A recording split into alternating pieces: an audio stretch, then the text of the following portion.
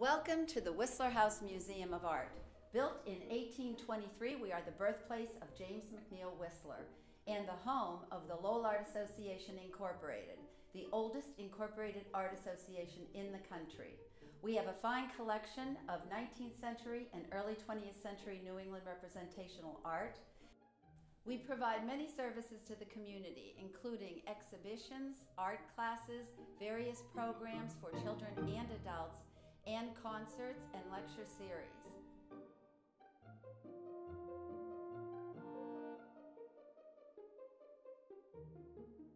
The Whistler House Museum of Art is located in Lowell, Massachusetts at 243 Worthen Street. Our hours are from Wednesday through Saturday, 11 to 4. You can reach us at www.whistlerhouse.org or call 978 452 7641. Come by and visit with us. Thank you.